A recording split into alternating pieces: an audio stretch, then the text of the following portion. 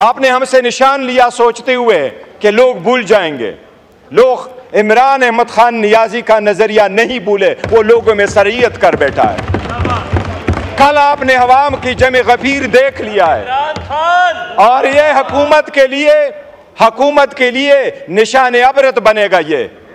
अगर चाहिए तो इनको चाहिए बेहतर है शहबाज शरीफ आज से फ़ोन कर ले हसीना वाजिद को।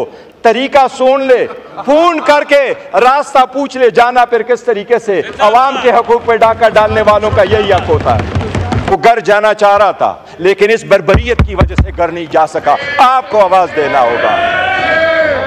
आपके नोटिस में हम लेके आए थे। आपने गाउन पहना हुआ है। इस ईवान में गाउन पहने के वक्त आपने इस ईवान पे इस आइन का हलफ उठाया था। फ्लोर दिया है। सर पहले अपोज किया उनको दे लें मैं हवलदार की बहुत इज़्ज़त करता हूँ। एक एक हवलदार और सिपाही एक बहुत बाइज्जत लोग होते हैं जो first line line of defence में खड़े होते हैं। आपने मुझे हवलदार का मैं सर आँखों पे। जी गौर साहब। पहले इनको बात करने का मौका दे देना। गौर साहब बात। जनाबी स्पीकर अगर उनको पहले देखें, दे दें। देखें जब ये बिल इंट्रोड्यूस होता है उस पर वोटिंग होती है। ये बिल अभी कहीं कमेटी से होके वापस नहीं आया कि इसके ऊपर डिस्कशन हो। तो आप पॉइंट ऑफ़ ऑर्डर पे करना चाहिए। जी मुझे रूल्स जनाबी स्पीकर जी सबसे पहले मैं बात कीजिए। मैं जनाबी स्पीकर सबसे पहले तो आ, इस बात की कन्फर्म फर्म कर देते हैं कि जो रिजोल्यूशन पास हुआ सबने यूनानिमसली किया है। गवर्नमेंट के साथ इस रेजोल्यूशन पे हमने कल भी बात की थी और इसको हमने अप्रूव कर दिया था, बल्कि इनफैक्ट हम अपना ही रिजोल्यूशन लेके आए थे थिंकिंग कि अगर इनकी में कोई वर्डिंग का फ़र्क हो तो हम अपना और स्ट्रॉन्गर वर्डेड रिजोल्यूशन उसको पास करवाए। उसमें हमने पास किया।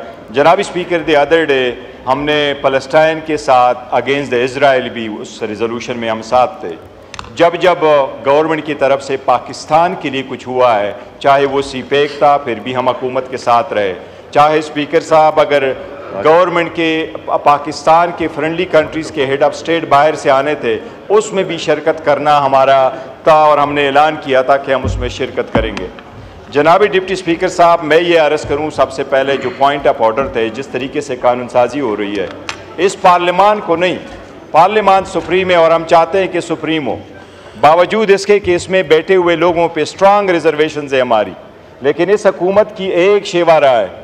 ये नवी लेजिस्लेशन हो रही है इस पार्लियामेंट में। आठवां सेशन है, इसमें ये नवी लेजिस्लेशन हो रही है। ईच एंड एवरी टाइम जब लेजिस्लेशन होती हैं तो आप रूल को सस्पेंड करवाते हैं। आप वन गो में वन गो में सारी की सारी रिपोर्टें रखवाते हैं। वन गोमो पूरा बुल रखवाते हैं और उस पर कभी भी कोई डिस्कशन हुए बगैर आप उसको पास करवा देते हैं। ये इस हुकूमत के मेम्बरान से भी पूछे, इनके मम्बरान को भी नहीं पता हुआ होता कि ये कौन सी लेजिस्लेशन हो रही है। जनाब स्पीकर ये जो लेजिस्लेशन हो रही है, ये न सिर्फ़ रूल्स के ख़िलाफ़ है और न सिर्फ़ ये कानून के ख़िलाफ़ है, बल्कि ये सरीहन आइन के ख़िलाफ़ कानून साजी हो रही है। सबसे पहली बात तो ये कि ये सारी की सारी कोशिश सिर्फ़ यही है, जिस तरीके से फॉर्म 47 को चेंज करके इन्होंने अपनी हुकूमत बना ली है, इसी तरीके से इस मरतबा ये कोशिश कर रहे हैं कि रिज़र्व सीट्स वामिन की और माइनॉरिटी के सीट इनको ले लें। जनाबी स्पीकर 78 सीटें थी हमारी। 78 सीट में 67 सीटें हैं वामिन की और उसमें है 11 सीट्स माइनॉरिटी की। जनाब डिप्टी स्पीकर साहब, उसके लिए हमने चार एप्लीकेशनें इलेक्शन कमीशन में भिजवाई थी। कानून के मुताबिक हुआ यह था कि जिस वक्त नामिनेशन पेपर हमने फ़ाइल किए, वो नामिनेशन पेपर के साथ फॉर्म 33 आया। फॉर्म 33 में लिखा हुआ था कि ये सारे कैंडिडेट पाकिस्तान तहरीक इंसाफ के थे। वो सुप्रीम कोर्ट के रिकॉर्ड में मौजूद हैं। वो जिस वक्त हमने सारे के सारे कैंडिडेट ने अनाउंस किया नामिनेशन पेपर फ़ाइल कर लिए।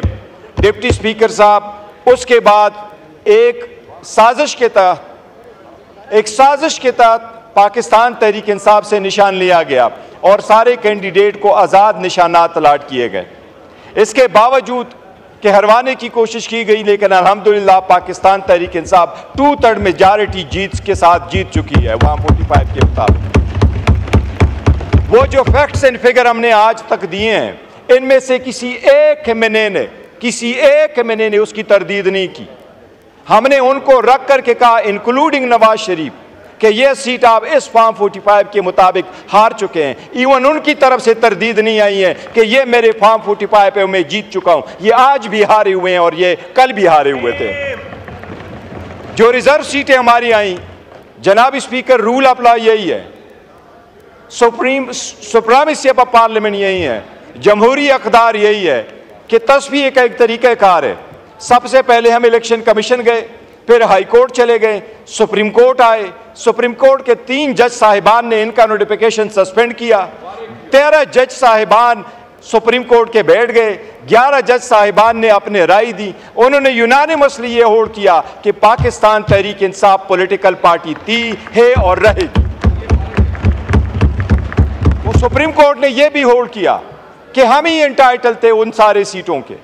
और तस्वीर का तरीक़ेकार यही है कि एक मरतबा सुप्रीम कोर्ट ने कह दिया सो वो फाइनल वर्ड है।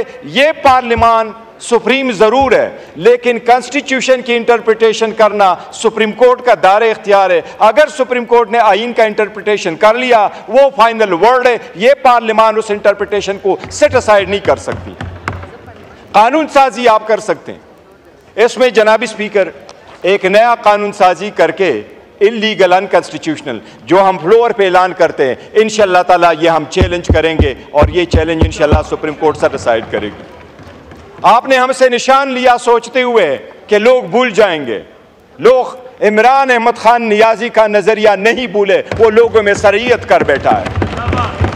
कल आपने हवाम की जमे गफीर देख लिया है। और ये हुकूमत के लिए हुकूमत के लिए निशान अबरत बनेगा ये। अगर चाहिए तो इनको चाहिए बेहतर है शहबाज शरीफ आज से फ़ोन कर ले हसीना वाजिद को। तरीका सुन ले, फ़ोन करके रास्ता पूछ ले, जाना फिर किस तरीके से अवाम के हकूक पे डाका डालने वालों का यही हक होता है।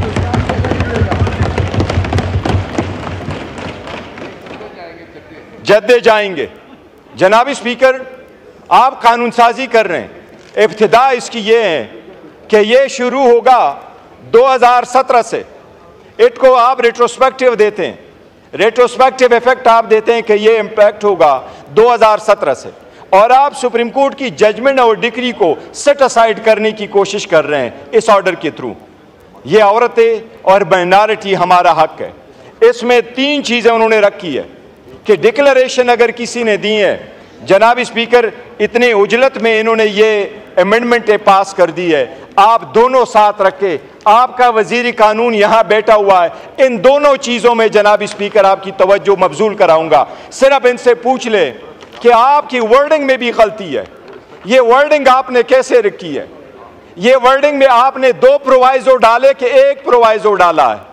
अपने आइन को देखे। ये किसके कहने पे आप कर रहे हैं कानून साजी? ये आपका एक प्रोवाइजो है कि दो। आइन का आर्टिकल 51 कहता है हर इंडिपेंडेंट कैंडिडेट के पास तीन दिन का टाइम है। जिस पॉलिटिकल पार्टी को ज्वाइन करना चाहे, वो कर दे। आपने इस्लाम में लिखा कि आइंदा कोई वो नहीं ज्वाइन कर सकता। क्या आप कॉन्स्टिट्यूशन को सुपरसीड कर सकते हैं? थ्रू लेजिस्लेशन ये आपने इस एक्ट में करवाया। आप इस एक्ट में ये करवा रहे हैं। आपने अमेंडमेंट ये करवाई, फिर दूसरी अमेंडमेंट ये करवा रहे हैं। इरिवर्सिबल लिखा हुआ था पहले। अभी आपने इसमें रखा इरिवर्स भी रखा कि not be substituted or withdrawn आपने काश सुप्रीम कोर्ट की जजमेंट का ऑर्डर पढ़ चुके होते तो कभी यह लेजिस्लेशन ना करते। उन्होंने दो अलग अलग लॉ डिक्लेयर किए थे। एक लॉ डिक्लेयर किया पॉलिटिकल पार्टीज़ का और दूसरा डिक्लेयर किया कैंडिडेट्स का। उनका आर्टिकल 17 है। वो जिस पार्टी को ज्वाइन करना चाहे उनका राइट है। उस पर कहाँ की कतगन आप लगा सकते हैं? ये सारी गैर आयूनी और गैर कानूनी और रूल्स के अगेंस्ट लेजिस्लेशन है। हम इसकी मजम्मत करते हैं। जनाब स्पीकर आपकी आईनी ज़िम्मेदारी है। आप कानून साजी की इजाज़त देते हैं। क्या कोई बंदा फ्लोर ऑफ़ द हाउस पे कोई एम एन ए मांगे? क्या उसका ये राइट है कि ऐसे लेजिस्लेशन के बिल प्रेजेंट करे जो आइन से मुतसादम हो? क्या एक दिन में आपने इसको पार्लिमानी पार्ट कमेटी में भेजा? क्या ये बिल आपने लॉ एंड जस्टिस कमेटी को भेजा है? आपने लॉ एंड जस्टिस कमेटी को नहीं भेजा। आपने इतनी उजलत किस बात की है? आपने वो अमेंडमेंट यहाँ से शेयर की। आप हम तो हम तो अपोजिशन है हमें तो आप टाइम ही नहीं देते। लेकिन इनसे पूछे इनके किसी एम पी ए से अभी अभी एम एन ए से आज पूछ ले। उनको कहो उसमें क्या मौजूद था? ये नावाके पे इनको भी नहीं पता।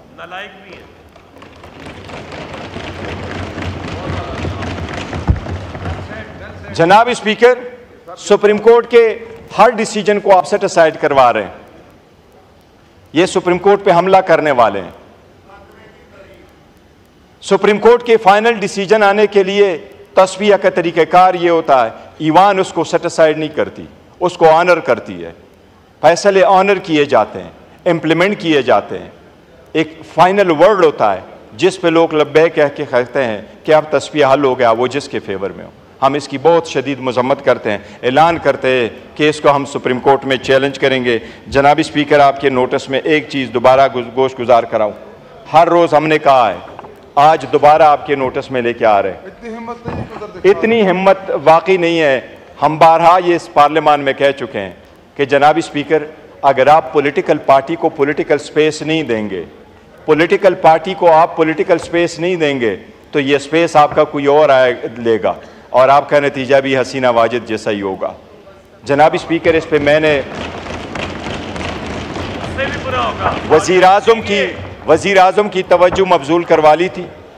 वज़ीर अजम ने यहाँ अंडरटेकिंग का कहा था और साथ ही ये कह दिया था वज़ीर आज़म साहब ने कि मैं उसको स्पीकर साहब के सामने लेके आऊँगा इनफोर्स डिसअपियरेंसेस जनाब, स्पीकर साहब, आपसे हमारी ये तो है। आप कस्टूडियन ऑफ़ द हाउस है। आप चेयर हैं। हम हमेशा आपका रिगार्ड करते हैं। आपको ज़्यादा प्रोटेक्ट और डिफेंड करने की कोशिश करते हैं। हम आपसे मुतालबा करते हैं कि जितने भी हमारे इन्फोर्स डिसअपियरेंस है इस पार्लियामान में हमारे कल एक बाई की शहादत उस, की डेथ हुई है मुमताज़ मुस्तफ़ा साहब। इस पूरे हाउस को हमेशा से ये दुख रहेगा वो अपने घर में नहीं मर सका। वो घर जाना चाह रहा था लेकिन इस बरबरीत की वजह से घर नहीं जा सका। आपको आवाज़ देना होगा। आपके नोटिस में हम लेके आए थे। आपने गाउन पहना हुआ है। इस ईवान में गाउन पहने के वक्त आपने इस ईवान पे इस आइन का हलफ उठाया था। हम हमेशा आपको हलफ याद कराते हैं, जनाब स्पीकर।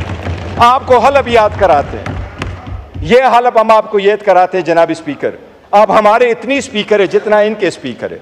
आप यूनाइटेड स्पीकर हैं। हम आपको ये हलफ याद कराते हैं। हमारे मेंबर की डेथ यहाँ क्यों हुई? वो अपने घर क्यों नहीं जा सका? अरेस्ट सिर्फ़ अरेस्ट नहीं। उनको डिसअपेरेंसेस की, जनाबी स्पीकर हम आपसे मुतालबा करते हैं। काइंडली इस रूल्स के मुताबिक, इन रूल्स के मुताबिक आप पार्लियामेंट स्पेशल कमेटी बना लें। कि वो कमेटी एक्सक्लूसिवली हमारे पार्लियामेंटेरियन के साथ जो ज्यादतियाँ हुई हैं और जो डिसअपियर हुए हैं, उनको एक्सक्लूसिवली वो कमेटी देख ले। हम आपसे मुतालबा करते हैं स्पेशल पार्लियामेंट्री पार्टी बनाना रूल्स में आपका इख्तियार है। ये रूल्स में लिखा हुआ है, जनाब स्पीकर रूल 186 में लिखा हुआ है। जनाब स्पीकर हम आपसे फुरजोर मुतालबा करते हैं अपोजिशन कि आप ये स्पेशल कमेटी बना लें। स्पेशल कमेटी बना करके उसमें सिर्फ़ पार्लियामेंटेरियन के इन्फोर्स डिसअपियरेंस के केसेस भेजे। कल हाई कोर्ट में जो मैंने स्टेटमेंट यहाँ वज़ीर आज़म को खिताब में जो मैंने कहा था, कल हाई कोर्ट के जज ने वो पूरा ट्रांसक्रिप्ट पढ़ा है। हाई कोर्ट के जज ने वो पूरा ट्रांसक्रिप्ट इनके प्रोसिक्यूशन को भी पुट किया। जनाब स्पीकर हम मुतालबा करते हैं ये कमेटी आप बना ले ताकि इस लॉन्ग स्टैंडिंग इशू को एड्रेस किया जा सके। शुक्रिया जनाब स्पीकर